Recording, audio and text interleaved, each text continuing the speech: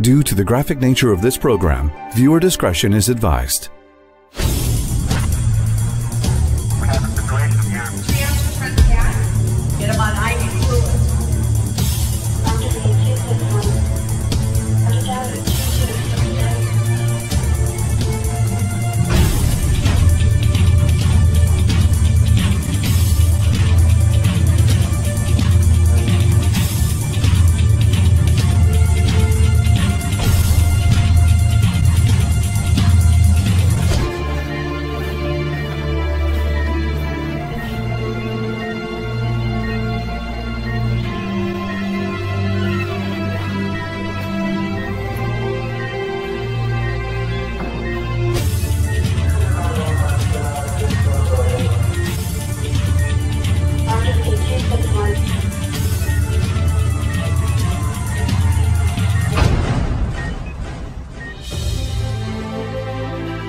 Milwaukee Emergency Center for Animals Television is brought to you by Animal Fairy Charities, a premier organization focusing on animal welfare while teaching compassion to young children through education, experience, and leadership.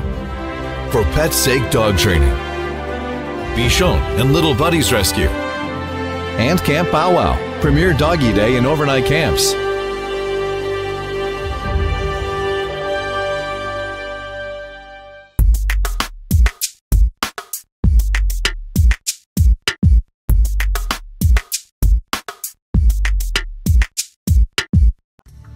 Dodger is about a nine year old Cocker Spaniel. He's a male. Uh, that came in last night presented because he was uh, vomiting and having chronic diarrhea over the past like month, month and a half. And very, very, very excessive diarrhea, and then he started vomiting.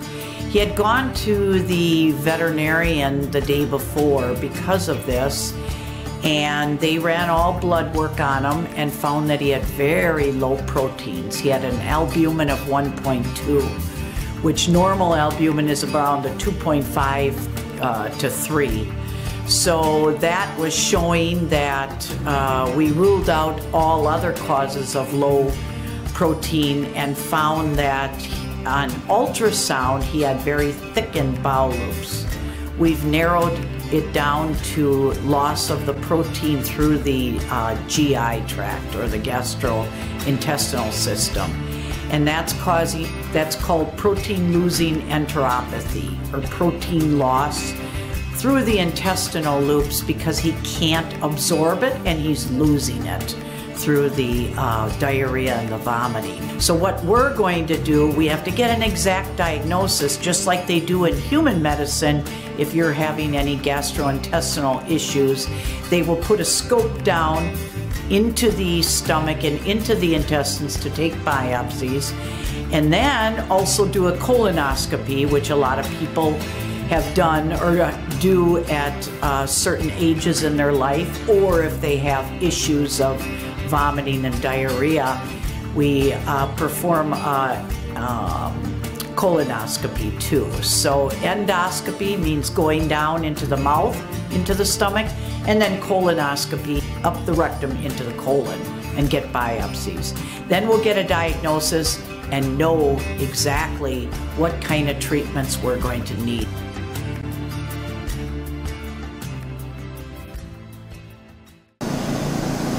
So right now we're uh, giving propofol, which is what they use in people too, to give you a little, calm you down, give you a little sedation. It's actually general anesthesia so that they can intubate them.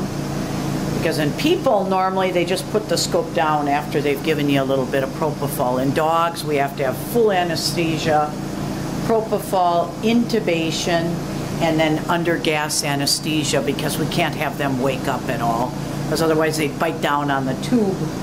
And this endoscopy instrument, which is the same one, this is actually made for humans, is about thirty to fifty thousand dollars for this scope itself. And because of that, if the dog bit down on it, I'd be out thirty thousand dollars. Got him intubated. It goes into the whole breathing apparatus. If you want to look down here. So here's your epiglottis and it enters right inside. That's the beginning of your trachea. Slips right in there. And then we hook them up to the gas anesthesia.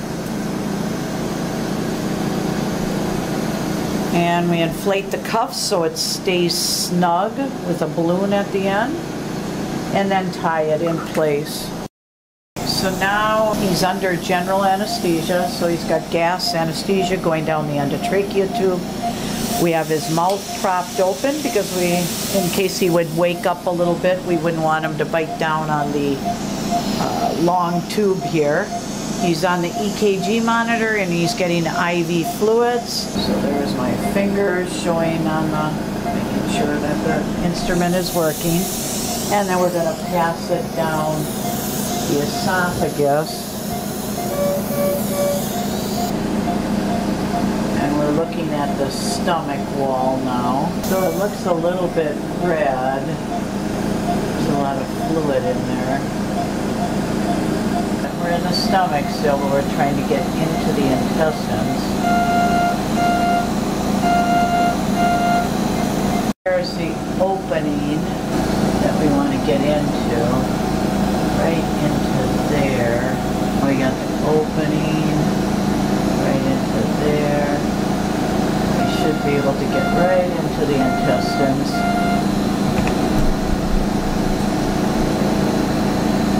Yeah.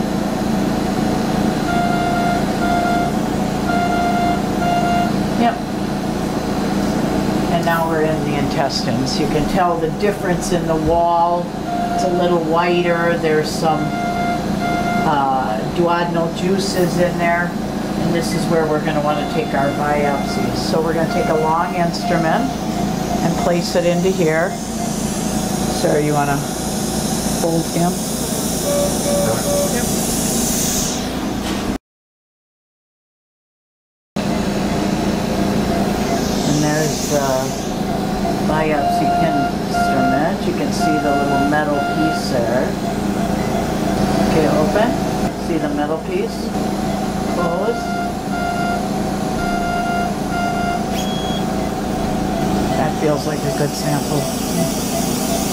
Feel the tug of the tissue. Open. Yep, we got a little speck of tissue there. Very big. Ethan's going to put into the formalin now.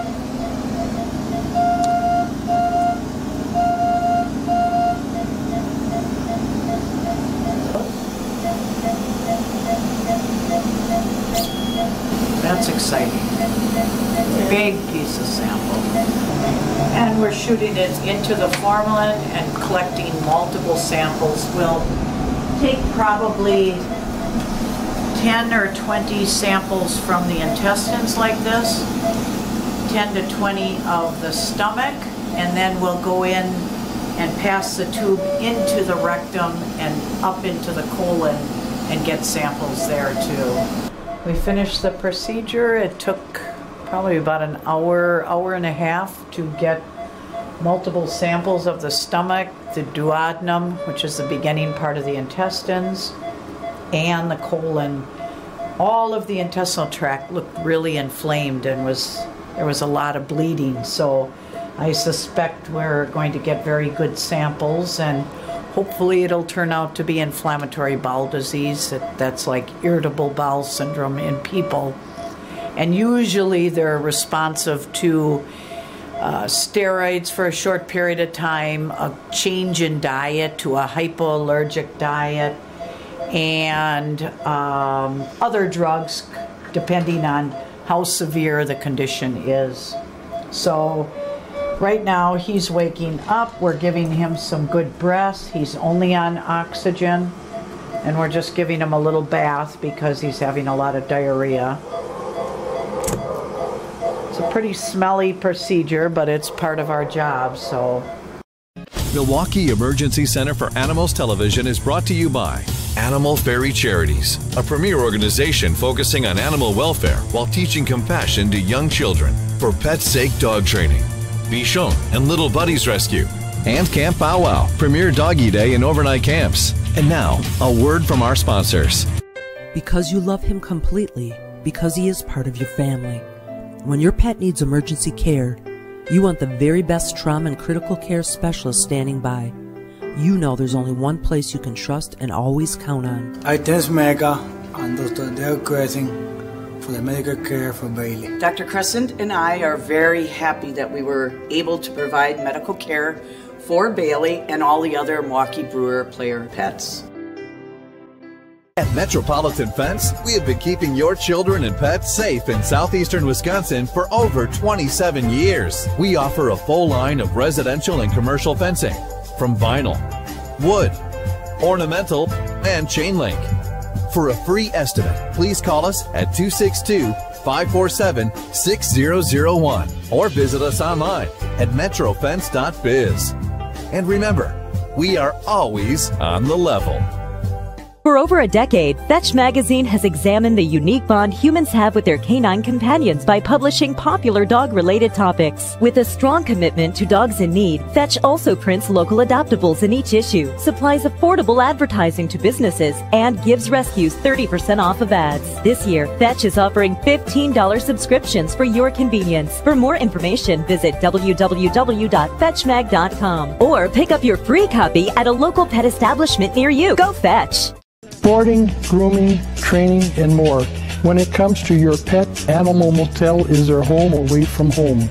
At Animal Motel, we offer a top of the line facility with boarding suites for both dogs and cats, outdoor play yards, a training hall, and so much more. Whether they're here for obedience training, grooming, or an extended stay, we promise your dog and cat will be part of our family. Animal Motel, personalized care for your precious pets. Looking to get some training for your dog? For Pet's Sake is your one stop dog training center. We offer all inclusive obedience training, canine sports training, specialty classes, and more. We provide training classes in three convenient locations with our main facility in Mukwonago, which boasts a fully matted 5,200 square foot training hall. While in Mukwonago, check out our Bichon Buddy Rescue and take home your new pet. Bichon and Little Buddies Rescue takes in Bichons, other small dog breeds, and cats that need to be be rehomed for various reasons. Buddy is a five year old uh, male intact dog uh, that uh, was outside running. He was running free, got out somehow from the yard, and uh, he was hit by a car and the reason the owner knew he was hit by car, he heard the screech of the car and then ran out there and saw the dog running back to him. When he uh, caught him, uh, he brought him right in here. He had some abrasions on the side of his legs and he had a fractured tooth. So he had been hit pretty hard, but he was also breathing. He had a very difficult time breathing. And when the doctor looked at him, she found a lot of blood in his um, chest cavity. So at first we had thought that he uh, was hit by car, only hit by car, and he had bled into his chest cavity. But that actually is very unusual because usually blood clots in the chest cavity, even if you are hit. Uh, you'll get pulmonary contusions and you'll bleed into your uh, lung space, but usually you don't bleed into your chest cavity. And if you did, usually that blood clots pretty quickly.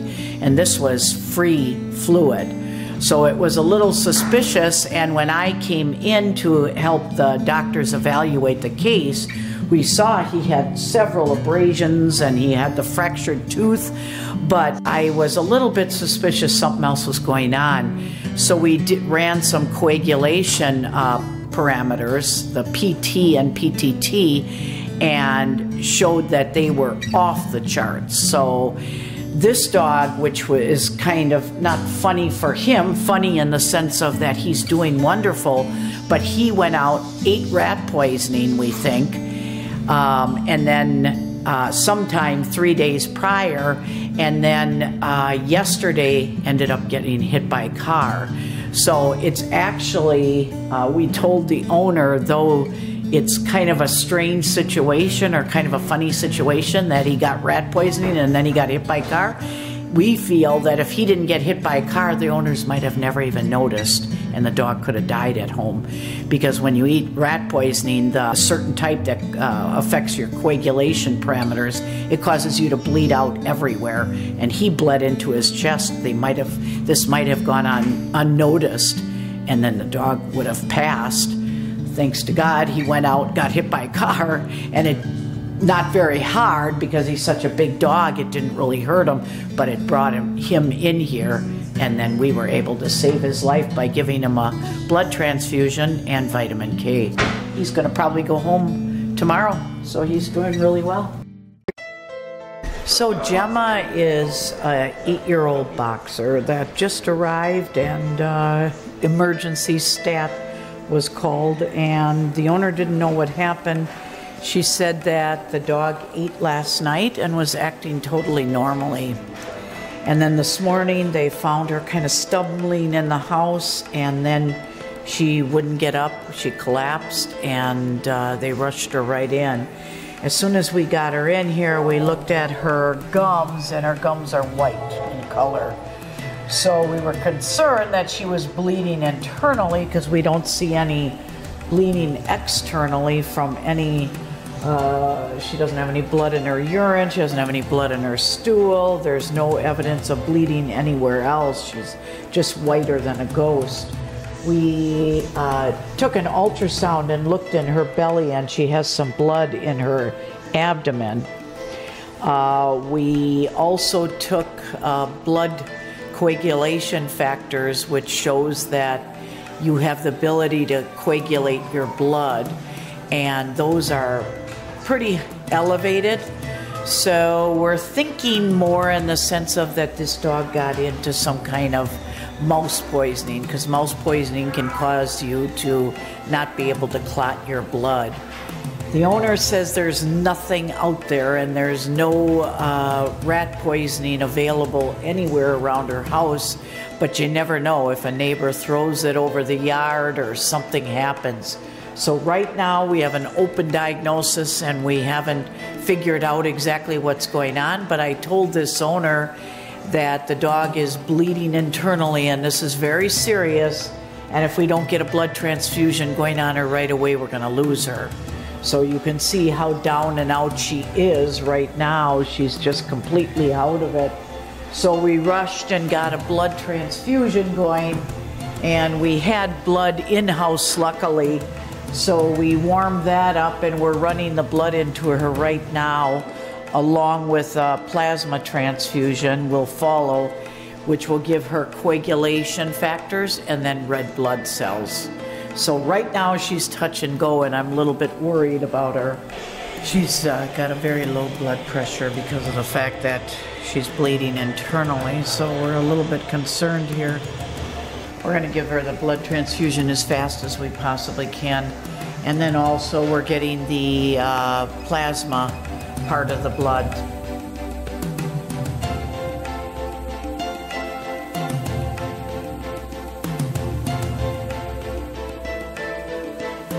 So we're trying to get her warmed up as fast as we can because if she gets cold, then we're not going to be able to get a blood pressure on her.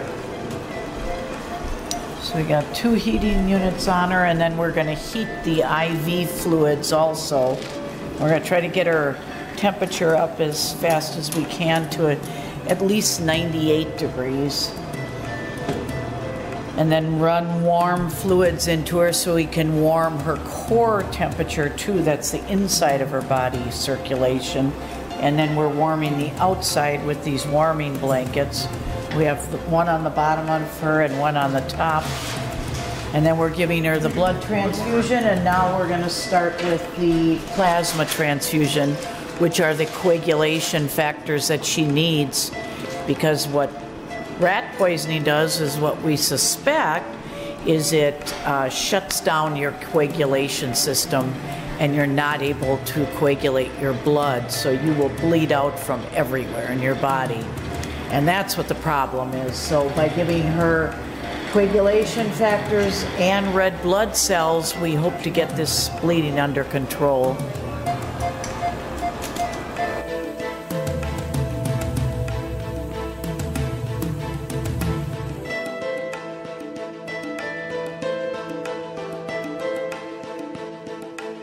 Okay, that's all right. That's okay. What are you doing? That's okay. Very good girlie. Okay, what we want to try to do is see if we see any type of evidence of why this dog would be bleeding. Because the people, I mean, one of the most likely things, of course, are coagulopathy, which is warfarin poisoning.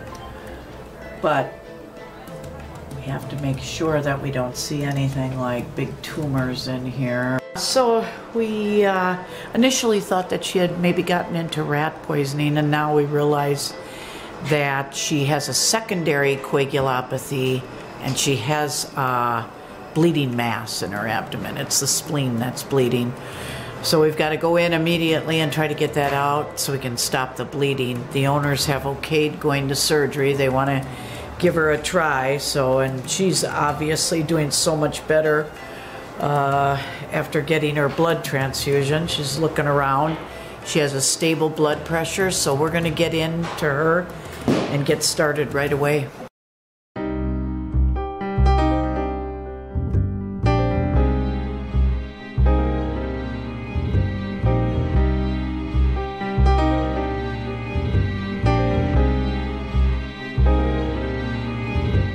I've got my hand on the aorta right on my thumb, and this structure that I'm feeling is right next to the aorta, so I'm concerned about that.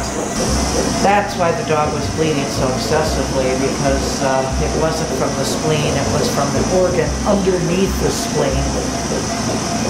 And that particular organ or mass is sitting right on top of the aorta and bleeding and oozing. And if we try to resect it, the dog's going to bleed out. And And if we didn't go in, we would have bled out too. yes, if we didn't go in, we would have never known. So. We would have bled to death. Yeah, he would have ended up bleeding to death, so we had to go in to check out to see what the reason was, so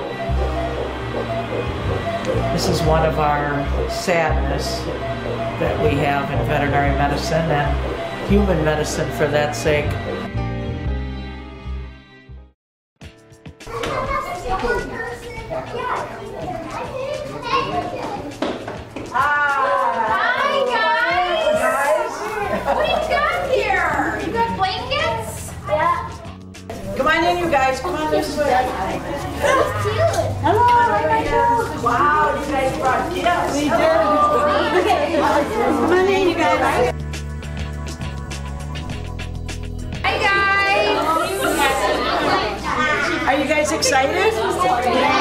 So many cool things to show you, you're not gonna believe it. This is Dr. Shimon, Dr. Michael. Hey guys. Say hi to him. Hey. I'm Dr. Marla, I'm the owner. Dr. Michael is one of the doctors here. Okay, and this is? Packer. She's a famous dog here. She is. So she runs all around the clinic and she goes up to people that are have sick animals and she sits with them and kind of consoles them. So it makes them feel a little bit better because a lot of people come in here with very sick animals, right? So you've seen them. so we see all kinds of animals here. What do we see, Michael? Uh, we see lizards and snakes and dogs and cats and chickens and guinea pigs and rabbits. And pigs. We've Pigs. seen pigs Yeah. here. Yeah, we see all kind of creatures. And what did you guys bring? I brought blankets. Wow. Pillow. Oh, good. The dogs will love it. They I would love so that. much. I would not because it's covered with dog pee. Oh, that's so nice, you guys. Aren't you happy, Mike? That we have so many Yes, we need it. special beds because Yes. all the animals are so sick. So we've got surgeries to see, guys. Yeah, a real life surgery that's going on. A lot of sick patients. Okay.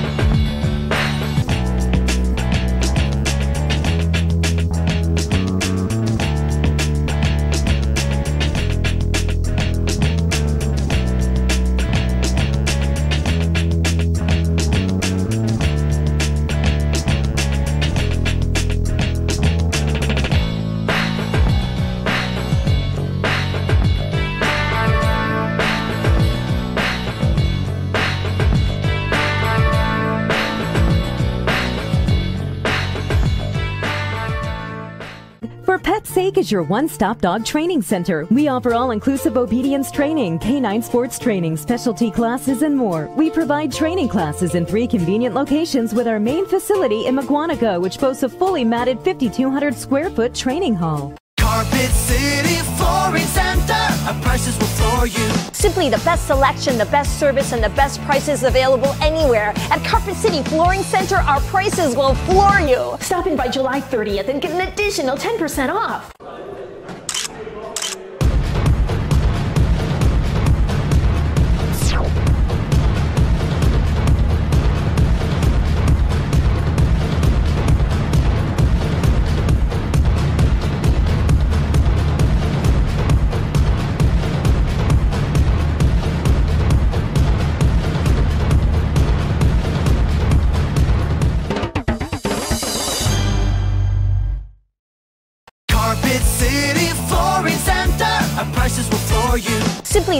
Selection, the best service, and the best prices available anywhere. At Carpet City Flooring Center, our prices will floor you. Stop in by July 30th and get an additional 10% off.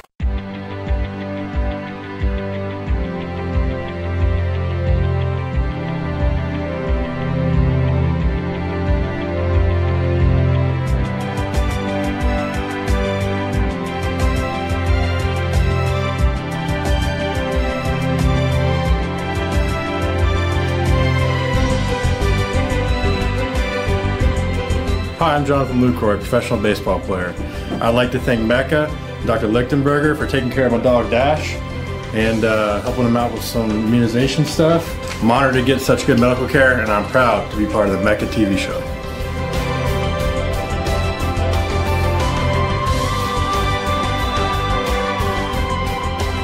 Today's show was brought to you by Animal Fairy Charities, a premier organization focusing on animal welfare while teaching compassion to young children for Pet's Sake Dog Training.